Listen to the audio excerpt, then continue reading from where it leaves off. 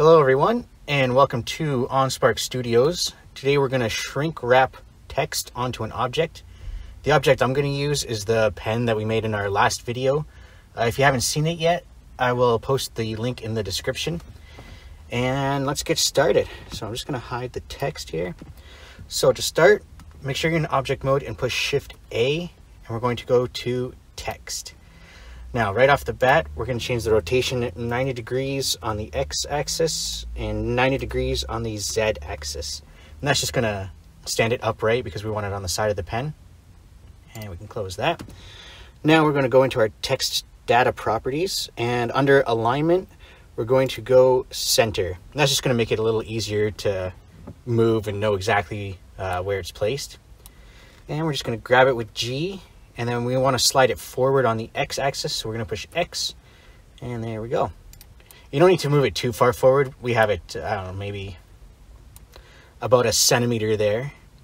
And if you haven't used text before to actually edit the text you have to go into edit mode. So push tab and go to edit mode with your text selected and you can start editing. So we're going to say on spark studios and there we go.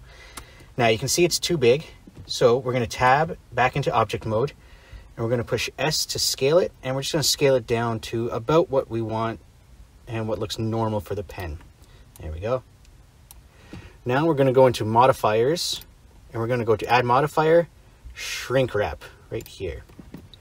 Now there's a lot of options in here to choose from.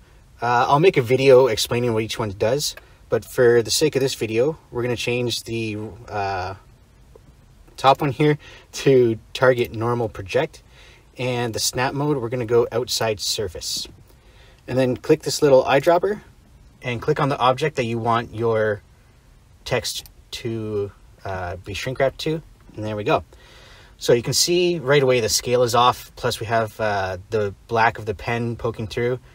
So to change all this, this little dot here, oh, I don't know if you can see it, this little dot here, uh, that's technically where your text is, and this is just where it's projecting to. So if you push G and then push X to slide around the X axis, it'll make it bigger. You can go way too big. You can even switch sides if you want to. But for us, we're going to go right there. And there we go. And then to get rid of all this uh, where the pen pokes through, under offset, we're going to click the right arrow once, twice, until it's all gone. And that's pretty much it. Um, it's it's fairly simple, and it works very well. It makes things look realistic, and you're not adding another object to it like a boolean, so you're not really messing with the topology.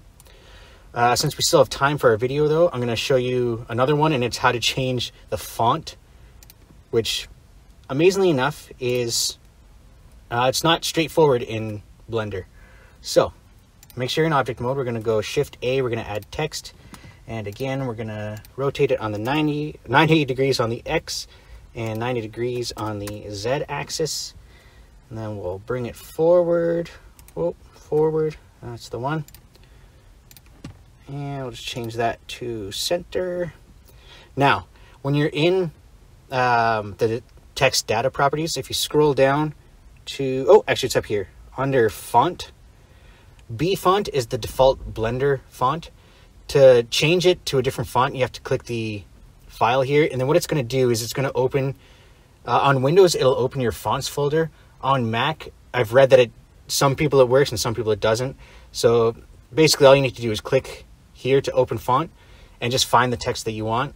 Make sure you know the name of it because you don't get to see a preview. It just shows you the actual file, uh, which kind of sucks. And I wish it was like every other program where you could see like a, a text preview. So you won't be able to see this, but right now my Blender view is open. It's because I'm using the uh, Windows, um, the Windows screen recorder, which I guess they just want to keep things safe and private, which is nice. But I'm going to choose Georgia. And once you choose your font, click Open Font, and that'll change it here. Let's just slide that out. See, so now it changes from B font to Georgia. And there we go. And that's how to change font styles. Now, just to uh, get that back here. Uh, just to get things shrink wrap it, just in case you forgot already. We're going to go to modifiers, add modifier, shrink wrap, uh, target normal project, outside surface, and we're going to select our cylinder. There we go. Now we're going to have to move it down so it's not on top of our other text. So G, Z, and there we go. Change the offset. There we go.